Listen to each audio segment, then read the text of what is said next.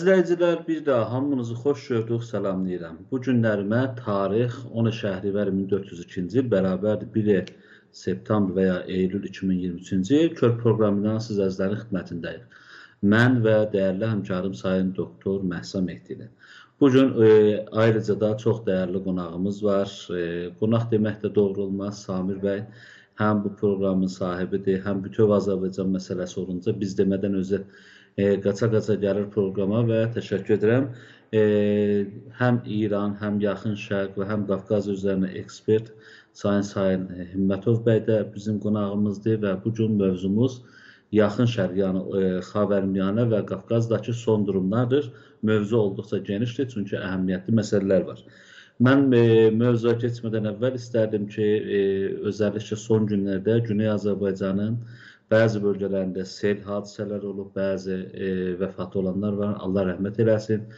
Maddi olaraq əziyyət, e, xəsarət görənlər var. Onlara da e, inşallah tezliklə o xəsarətlər cübran və xüsusilə Qaradağ və Zəncan bölgəsində bu sel xəsarətlərinin e, çox olduğu söylənilir. Bundan çox vaxtınızı almıram. İstərdim həm Məhsa hocam, həm Samir hocam sizlərlə salamlaşsın. Daha sonra mövzuya keçək. Məhsa hocam, xoş gördük. Hoş gördük. Değerli Kerim Bəy Əskəri, değerli Samir Bəy Ümmətov, aziz və əziz izləyicilərimiz, təbii bizi təqib eləməyi buraxmayan dünyanın hər yerində Günaz TV-ni və özəlliklə də bizim proqramı təqib edən bütün bacı qardaşlarımıza e, salamlar göndərirəm buradan. Arzu edirəm hamısı yaxşı olalar. Əlbəttə ki, bugün iki dəyərli hocamız var. Kərim hocam alanında həqiqətən e, yani uluslararası ilişkiler alanında e, değerli bir uzmandılar. Ayrıca kıymetli Samir hocam da bizlerlediler ve uzman baxışıyla biz e, məsələlərə baxacağıq. Arzu edirəm ki, verimli, faydalı və o analitik dəyəri olan bir proqram e, olar. Əminəm də belə olacaq. Buyurun lütfen. Samir hocam, sizi bir daha xoş gördük. Salamlayıram. Təşəkkür edirəm. Təşəkkür edirəm Kərim bəy. Mən də sizi, eyni zamanda Məhsə xanımı və bütün bütün Azərbaycanı, bütöv Azərbaycanı, Güneyli, Quzeyli və xaricdə e, molla rejiminin əlindən qaçıb xaricdə məcbur yaşamağa məcbur olan bütün Azərbaycanlıları, türkləri salamlayıram və hesab edirəm ki, bugünkü verilişimiz həm e, maarifləndirici, həm də maraqlı olacaq. Və düşünürəm ki, maraqlı hadisələr baş verir regionumuzda və biz bunların e, imkan tapdıqca hər birini, imkan olmasa böyük əksəriyyətini e, əl almağa çalışacağıq. Samir hocam, mən istərdim ki, bir sual soruşam, amma e, bu bir sualın içində aslında üç dənə mövzu açılacaqdır. E, belə deyək, e, son günlərdə Qarabağda biz e, çatışmalara şahidik və bunun e, səbəbləri nədir? Bir tərəfdən də e, Lübnanda Azərbaycan səfirliyinə saldırılar oldu və bu məni Tehrandakı Azərbaycan səfirliyinə olan terror saldırını xatırlatdı. O bir tərəfdən də dünənlərimə, əgər yanılmasam, bu sözdə e, Qarabağ Cumhuriyyətinin prezidenti sözdə deyirəm dırnaq arası e, Arait Harkunyan, hala bəlkə adını doğru tələffüz edə bilmirəm. E, onun da istifasını şahid olduq. O yüzden e, isterdim ki bu e, bir sualın içinde üç tane mevzunu sizden eşidək ki neler baş verir. Həm sözdə e, istifası, həm bu Libnandakı e, bu səfirliyimizə olan saldırı, həm də Qarabağdakı son hadisələr e, ki, e, çatışmalar var. O haqda sizin fikirlərinizi öyrənək. Buyurun lütfən.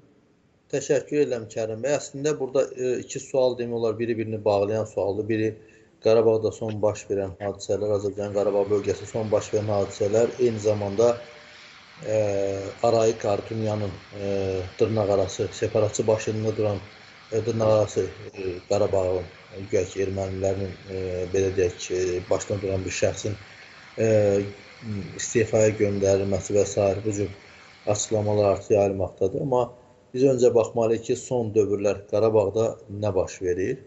Azərbaycanın Qarabağ bölgəsində baş verən hadisələrin arxasında kim və yaxud da kimlər və yaxud kimlər nə üçün nə edir, nə istəyirlər, hansı maraqları dayanır, onları e, göz gəzdirməliyik. Əlbəttə bildiyimiz kimi son vaxtlar Rusiya-Ukrayna müharibəsinin ən kəskin dövrü artıq başlayır. Çünki Ukrayna əks hücum əməliyyatlarını həyata keçirir və demək olar ki, cənuba doğru Krım istiqamətində Krımla e, belə deyək, Donetsk Luqansk ərazisini birləşdirən quru xətti e, yarmaqla, dənizə çıxmaqla əlaqələri kəsməyə çalışır. Yəni bunlar hamısı önəmlidir.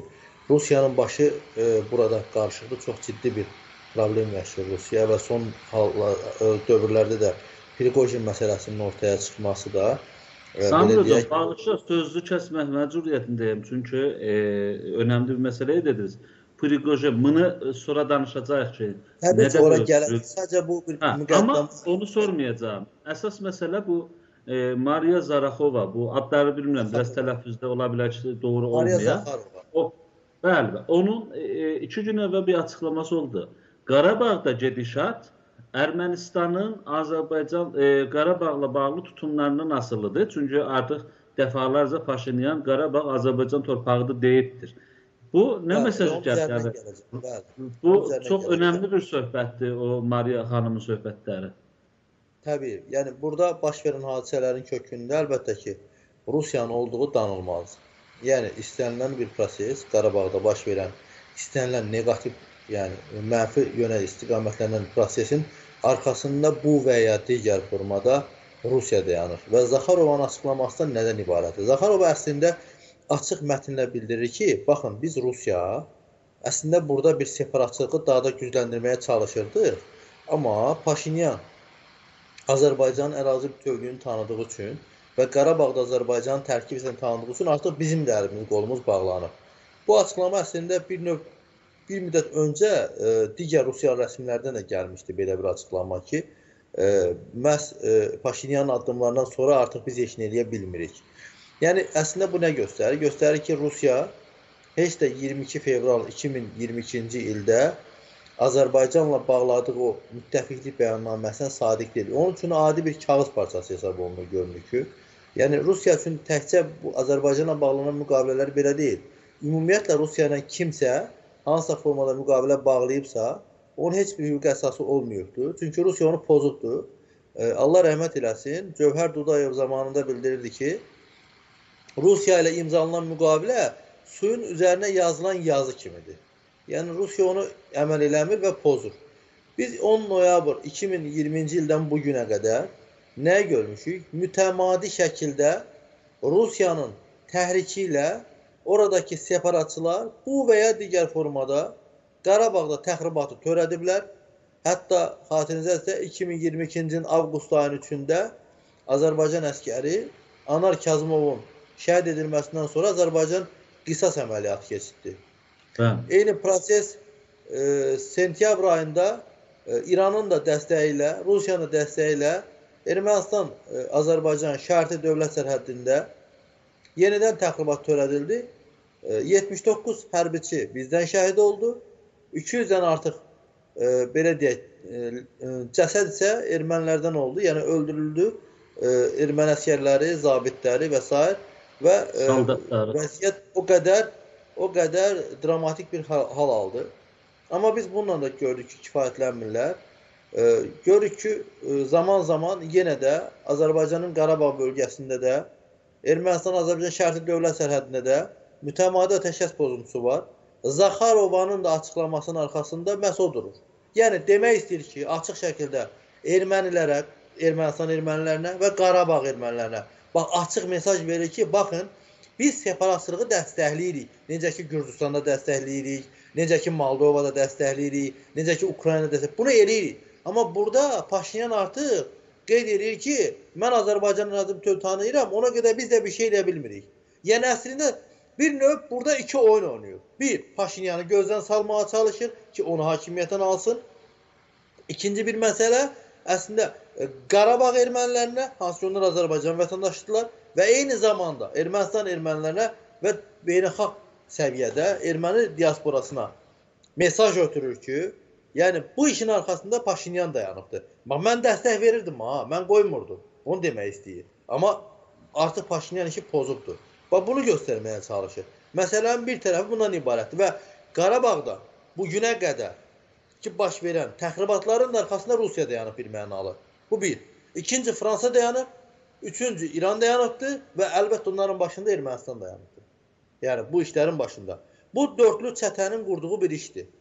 İran ötən ilin oktyabr-noyabr aylarında Ermənistana 600 ədəd tank əleyhinə raket sistemi veribdir. Hansı ki onların 500-ü Dəhləvi idi, 100-ü Almaz raket sistemidir. O zaman sual çıxır ortaya. İran o raket sistemini kimə və nə üçün veribdir? Ortaya sual çıxır. Bilir ki, Ermənistanla Azərbaycan arasında sülh olmayıb hələ bu günə qədər. Bilir ki, münasibətlər hələ də çox kövrək vəziyyətdədir və hər an e, partlayan bir mina halını alıbdır. Belə olan halda belə İranın Ermənistana e, raket sistemlərini verməsi, hələ biz bildiyimiz raket sistemləridir və dronların bir hissəsini eşitmişik. Mən tam onu deyəcəkdim. Və bu gün dronlarla Ermənistan saldırıb, bu dronlar ümumiyyətlə ya İrandan gedib, ya İran üzərindən Hindistandan gedibdir. Yəni bu dronlar. Və elə o məsələnin də üzərinə gəlmək istəyərdim. Bir müddət öncə bildiyimiz kimi Hindistana e, Hindistandan Ermənistana İran üzərindən e, raket sistemləri göndərildi. Ya bu kimin əlindən gəlir bu işlər? Əlbəttə ki, İranın, Rusiyanın və Hindistanın. Eyni zamanda Fransanın. Yəni bu qurulan çətə əslində Hindistan və Pakistan Cənubi Qafqazda bir savaş aparırlar. Yəni məlumdur ki, Pakistan Azərbaycanı bir mənalı şəkildə dəstəkləyir. Hətta Pakistan bu günə qədər belə, baxmayaraq ki, 2-ci Qarabağ savaşının 3 ilə yaxın vaxt keçir və Azərbaycan ərazilərini işğaldan azad edib, amma Pak- Pakistan bildirir ki, Ermənistan və Azərbaycan arasında yekun sülh müqaviləsi imzalanıb. Tam sülhə keçməyənə qədər Pakistan Ermənistanı dövlət kimi tanımayacaq. Nəinki diplomatik əlaqələr, dövlət kimi tanımayacaq. Bu o deməkdir ki, Pakistanın maraqları burada Azərbaycan üzərindən təmin olunur. Ee, Hindistanın maraqları isə təbii ki, Hindistan da görür ki, Azərbaycanla Pakistan münasibəti yaxşıdır. Buna inad olaraq Ermənistanla dərin əlaqələr qurmağa çalışır İran üzərindən. Yəni əslində bölgədə 3 dövlət var ki, onlar, yəni bölgə dövlətləri olsalar da, olmasalar da iki başlı oyun yürüdürlər. Birincisi Rusiyadır. Burada oyun çıxardır. Yəni adını qoyub ki, mənim bura arxa bağçamdır, mən bildiyimi eləmək istəyirəm, mən bura başqa aktorları buraxmaq istəmirəm. İkincisi İrandır. Üçüncüsü də Fransadır. Fransanı Afrikadan qovublar. Malidən qovdular, Burkina Fasodan qovdular, Nigerdən qovdular, indi Qabondan qovurlar. Qov ha qov. Çıxardırlar bunu oradan. Orada qala bilmədiyi, əlindən çıxan imkanlarını indi gəlib Cənubi Qafqazda tətbiq etməyə çalışır ki, bu da böyük bir problem yaratmağa çalışır bununla da. Və e, bildiyimiz kimi Azərbaycan Qarabağa humanitar yardım olaraq 40 ton un göndərib və bu günlərim artıq həmin o maşınlar e, Xankəndi sərhədinə qədər gəlib çıxıb, yəni o e, buraxılış məntəqəsi deyək ki, qruplar ruslar orada ora qədər və artıq içəri ötürülməyini gözləyir. Fransada bir şou yaradırdı ki, bir dəstədə humanitar yardım bu göndərildi. Parisin meri də orada iş, e, e, An e, An Igondo nədir belə bir adı olmalıdır o şəxsin. Onun başçılığı altında e, Qarabağa yardım gətirmək istəyirdi. Nəsə o məsələ pozuldu, getdi. İndi məsələnin burada ən e, maraqlı detalı odur ki, e, Rusiya bunu görə-görə vəziyyətin belə dramatik hal almasının tərəfdarı olduğunu deməsə də göstərir. Yəni o dünə hal alıb ki, hətta atəşkəs pozuntusu artıq hər gün baş verir ki, bu da xoşal deyil. 10 noyabr bəyannaməsinin e, müddəaları yerinə yetirilmək xüsusən də 4-cü bəndi. Çünki 4-cü bənddə açıq şəkildə qeyd edilir ki, e, orada olan erməni silahlı dəstələri, yəni terrorçu dəstələr ən qısa zamanda Qarabağdan çıxarılmalıdır. Rusiya çıxartmır. Azərbaycan aprel ayının 23-də öz sərhədlərini bərpa etdikdən sonra nəzarət buraxılış məntəqəsi qurdu. E, Laçın e, nəzarət buraxılış məntəqəsini qurdu. Həmin o nəzarət buraxılış məntəqəsi qurulandan sonra e, baxırsınız artıq e, bir qaynaşma var orada. Aray Kartunyanın da istefasının arxasında hesab edilən bu durur. Aray Kartunyan Gəncədə, Bərdədə, Tərtərdə və digər Azərbaycan şəhərlərində 2-ci Qarabağ dövründə, müharibəsi dövründə baş verən cinayətlərin başında durubdu və özü də bunu etiraf edibdi. İndi o Vaqif Xaçaturyanın tutulmasından sonra hamısı bir qorxuya düşüblər orada. Ki çıxa bilmirlər axı, yer yoxdur çıxmağa. Harda gəlsə gəlib dəhlizdən keçəcəklər, orada tutulacaq. Hara getsə gəlib keçəcək. Və Azərbaycan dövlətinin 300-ə qədər terrorçu ilə bağlı əlində siyahı var və hansı hardan keçsə o bilinəcək onsuz da. Zaten əlimizdə olacaq. Və Rusiyanı narahat edən budur, Fransanı narahat edən budur. Çünki Rusiya Ermənistana görə narahatdır və Qarabağ əlindən çıxar deyə narahatdır. Yəni ki, fikirləşir ki, Qarabağda qalmaqla güya bu Cənubi Qafqazda qalacaq, amma bunun 2025-ci ilə son dövrüdür və 2025-cidən sonra Rusiya buradan çıxarılacaq. Amma Fransanın isə buradan Amma narahat. Samir hocam, çox üzr istəyirəm. Bəli. Çox üzr istəyirəm. Sual vermək məcburiyyətindəyim. Buyurun. Biraz məsələni açaq deyə diqqətlə də qulaq asıram. Çox sağ olun. Çox açıqlayıcıdır belə düyünləri açaraq danışırsınız. E, birincisi Xankəndi indi nə qədər nüfus qalıb? Yəni özünü e, Ermənistanlı bilən, erməni Ermənistanlı bilən nüfus, yəni işğalçı beyində olan nüfus nə qədər qalıbdı? Bir bu. E, ikinci e, iki tərəf də istəsə Rusiya çıxacaq. Yəni 2025-də elə bir garanti Xeyr, var xeyr, mı? xeyr. Tərəflərdən biri. Tərəflərdən biri istərsə çıxacaq. Xüsusilə də, xüsusilə də üzrsən, xüsusilə də Azərbaycan istəsə. Çünki Ermənistan ərazisi deyil, hüquqi cəhətdən Azərbaycan ərazisidir. Anlaşmada var. Əgər Bəli. tərəflərdən biri istəsə, Bəli, tərəf- Rusiya çıxacaq. Tərəflərdən biri e, ancaq e, yəni Rusiyanın çıxışını Azərbaycan istəmə du, istəyə biləcək durumdadır indi. E, bir bu su sualdır. Bir də Rusiyanı heç birimiz sevmirik. Yəni bu açıqdır. Bunu heç deməyə gərək yoxdur. Bizim kimliyimizin bir parçasıdır Rus Rusu dəf eləmə istəyi. E, bir də Rusiyanın orada çıxışı, baş, başqa faktorların orada müdaxiləsinə e, yer yəni boşluq yaradar, yaratmaz. Yəni nə olar? Çıxsa və ya çıxmasa. Mən sizin bu suala detallı şəkildə cavablandırmaq istəyirəm. Çünki burada Buyurun. çox mətləblər var ki, bəzən tamaşaçılara qaranlıq qalır. Birincisi, Xankəndində 20 min civarında e, ümumilikdə erməni yaşayır. Hansı ki, onların içərisində separatçılar da var, onların içində sadə erməni vətəndaşlar da var. 20 min. Çünki Azərbaycan əlində bütün texniki vasitələr var və dronlarla da çəkilişi aparırlar. Orada nə qədər vətəndaşın olduğu da Azərbaycana məlumdur. Və e, onlar müxtəlif bəhanə gətirsə də Azərbaycan orada təbii ki məlumatı da var, kəşfiyyatda işləyir. Orada nə qədər insan olmasına bağlı kifayət qədər məlumatlıdır. Bu bir. Yəni onlar 120 min deyir, bəziləri 60 min deyir. O mənasız, boş cəfəng fikirlərdir. Çünki ə, çəkilişlər var ortada. Hamısını qoyanda ortaya məlum olur ki, nə var, nə yox. Qaldı ki, Rusiyanı çıxartmaq iqtidarındadır Azərbaycan. Bəli. Buna heç bir şübhə yoxdur. demədim. Yəni elə bir iqtidar təbii ki, Rusiyadan böyüyünü də çıxardar. O başqa. Bəzən hesab kitab eləmək, yəni e, Ha, uluslararası işte ilişkilər o məsələnin üzərinə gəlmək istəyirəm. O məsələnin üzərinə Çıxarların Baxın, e, bəzi e, açıqlamalarda belə göstərilir ki, əgər Rusiya çıxarılarsa buradan, bura bir beynəlxalq koalisiyanın gəlməsi söhbəti var, bir versiya ki, istəyirlər ki, gəlsinlər Amerika, Fransa və s. köhnə qvardiya yığılıb gəlsin olsun indi burada. Yəni Kosovo variantını bura tətbiq eləsinlər. bəli, Elə istəyir. Bəli. İkinci bir tərəfdən, hə, buna alternativ deyək ki, Türk Dövlətlər Təşkilatına daxil olan dövlətlərin milis gücləri burada ola bilər. Biz əslində əgər olacaqsa da bunu istəyirik. Türk Dövlətlər Təşkilatına daxil olan deyək ki, ə, dövlətlərin milis gücləri olsun ən ə, belə deyək pis halda.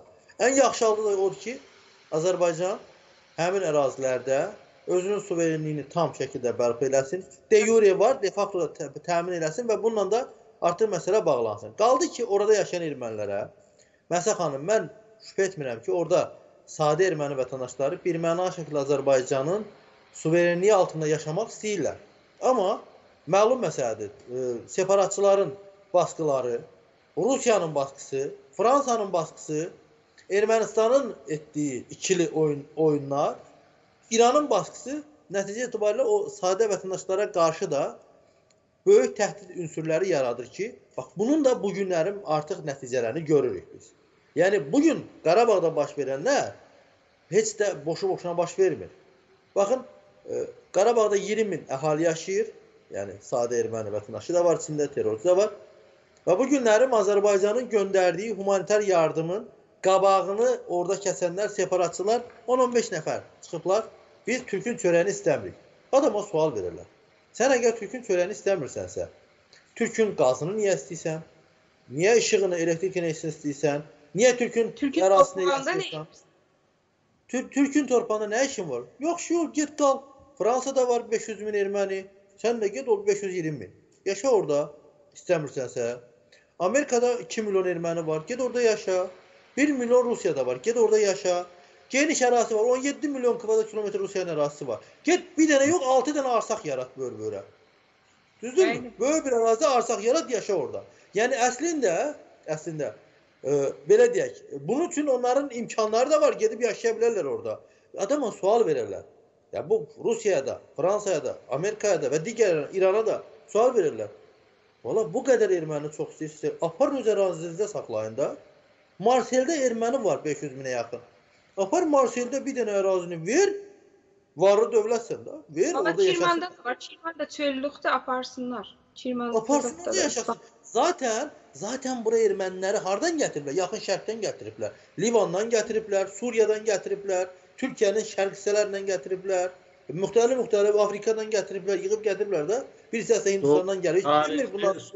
Yurdu da bilir bunları. Yəni bu cür vəziyyətdə olan bir xalqı gətirib bura bizim boğazımıza ilişdirməyə çalışırlar.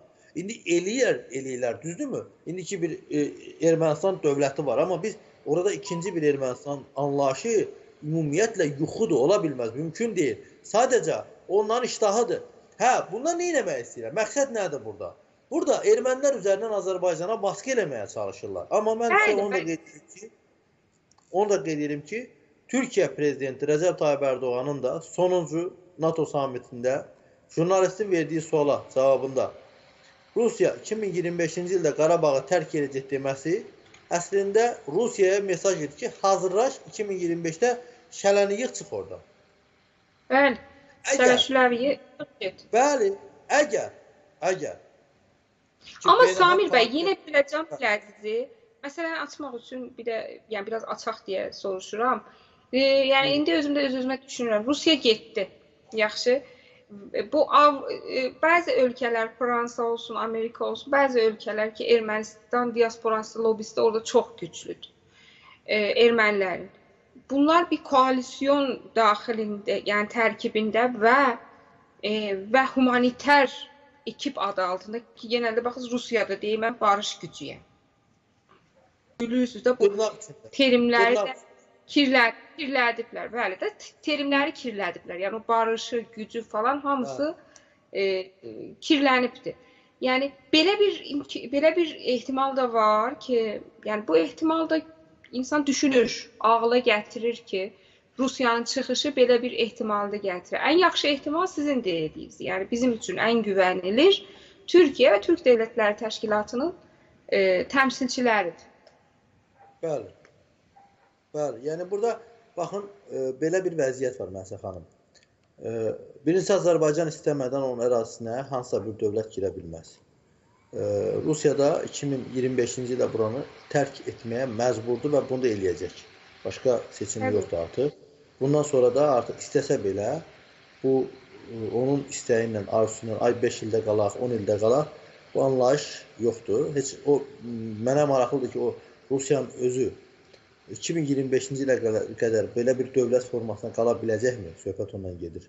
Yəni elə Rusiyanın özünün belə o cür böyük dövlət halında qalmasının özü şübhə altında. Çünki 2 il e, artıq e, tamam olmayıbdı Ukrayna müharibəsində. Artıq Rusiyanın iqtisadiyyatı çox bərbad bir hal alıbdı. Ordusu e, məhv olmuş bir orduya çevrildi. Bunu bu pafoslu, bə, belə deyək, mübaliğəli bir şəkildə demirəm. Bu reallıq budur. Yəni e, bir dövlətin ki, əgər 260 min hərbiçisi bir il yarımda müharibədə ət maşından keçirilibsə, öldürülübsə, deməli bu dövlətdən danışmağa, bunun ordudan danışmaq, super güc danışmağa danışmaq sadəcə gülüşdür, biabırçılıqdır. Yəni bu cür bir vəziyyətdir. Nəysə, sözümün canı ondadır ki, yəni nə Rusiyanın o düşündüyümüz ay bu belə böyük super güc deyə bir anlayış dövlət ordusu yoxdur, o boş söhbətdir. Ukraynada görürük ki, giriblər, çıxa bilmirlər. Gah Wagnerlə qırırlar bir-birini orada. Ordu bir yandan bir şey qərargah rəisini aparıb qoyublar orada e, belə deyək ki, ordunun başındakı döyüşsünlər. Ordunun qərargah rəisini aparıb orada ordunun başına qoyur. Hansı ki o arxa cəbhədə dövlətin paytaxtında olmalı və prosesləri oradan idarə etməlidir. Amma gedib oturub orada. Niyə? Çünki e, göndərib orada. Demək döyüşmürlər. E, Generalları satqın çıxır artıq. Məsələnin bu tərəfi başqa, amma bizim deməyə istədiyimiz odur ki, bizim üçün nə Rusiyanın, nə Fransa və nə digərinə ehtiyac yoxdur. Biz artıq 2025-ci Sami ildə müəllim, sizdən rica etsəm, yəni bu bölümdən çox az qaldı, 3-4 dəqiqə vaxtımız qaldı. Söhbətləri yekunlaşdıraq, xüsusilə Lübnandakı səfirliyimizə saldırı, onun da e, kim yaptı, nədən etdi, onu da buyurun ki, bu bölümü yekunlaşdıraq. Aha, qaldı ki, e, Azərbaycanın e, Lübnandakı səfirliyinə olan hücum. E, biz e, birmənalı şəkildə burada e, İranın əlinin olmasını istisna etmirik. Çünki bildiyimiz qədərilə e, İrana dəstək verən, İranın ümumiyyətlə dəstəklədiyi Hizbullah İranda, e, Lübnandadır e, və e, bu hadisəyə oxşar başqa bir hadisə, amma biraz fərqli formada ötən ilin avqustun 4-də Londonda baş vermişdi Azərbaycan səfirliyinə. Bu ilin e, yanvar ayı, ocaq ayının 27-sində Tehrandakı Azərbaycan səfirliyinə hücum oldu və orada artıq bir təhlükəsizlik e, güvənlik əməkdaşımız şəhid edildi. İndi də Lübnanda. Bu e, İra, e, Londonda baş verənlərin arxasından İran çıxdığı məlum oldu nəhayətində ki, İrana bağlı qüvvələri idi. Tehranda məlum məsələdir. Artıq bir mənalıdır, qaçılmazdır ki, Tehranda bu İranın özünün sifarişi ilə həyata keçirilmişdi və ona görə də artıq 1 ilə yaxın vaxtdır ki, hələ də o e, belə deyək, baş verən terror halının obyektiv araşdırmasından söhbət belə getmir. Hələ məlumat da verilmir. İndi də Lübnanda baş verir. Görünür ki, e, İranın təsir dairəsində olan ərazilərdə Azərbaycan səfirliyinə qarşı mütəmadi belə hücumlar etməklə əslində İran bir mesaj ötürməyə çalışır. Bax mən burada güclüyəm, mən sənə təsir eləyərəm, orada güclüyəm, mən sənə təsir eləyərəm və s. Bu cür yanaşmalar ortaya qoyur, amma hər vəziyyətdə hesab edirəm ki, Azərbaycan e, bu məsələni, yəni Lübnanda baş verən terror aktı ilə bağlı birbaşa o dövlətin nümayəndələrinə nota verməklə, xəbərdarlıq etməklə bu məsələni aydınlaşdıracaq və yekun olaraq orada səfirliyimizin fəaliyyəti üçün mümkün imkanlar yaradılacaq.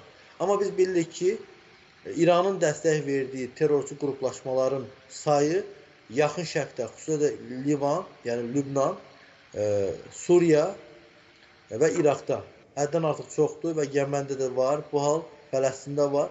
Ona görə də hesab edirəm ki, bizim üçün orada ə, müəyyən bir təhdid elementləri yaratmağa çalışacaqlar. Əslində İran bundan mesaj verməyə çalışır və İranı çox narahat edən məsələlərdən birincisi Azərbaycanın İranda səfirliyini bərpa etməməsidir. Bilirsiniz, ə, bir müddət öncə İranın Xarici İşlər naziri. Əmir Hüseyn Abdullahyan gəlmişdi Azərbaycana və orada açıqlama verilə təkidli bir şəkildə dilə gətirdi ki, bu ə, belə deyək, ə, səfirlik yenidən fəaliyyətini bərpa etsə çox yaxşı olar falan, belə bu cür. Amma Azərbaycan da prinsipial mövqe qoyub ortaya qəti şəkildə bildirib ki, məsələ tam aydınlığına qovuşmayana qədər və biz yekun real nəticə əldə etməyənə qədər orada bizim səfirliyin fəaliyyəti qeyri-mümkündür.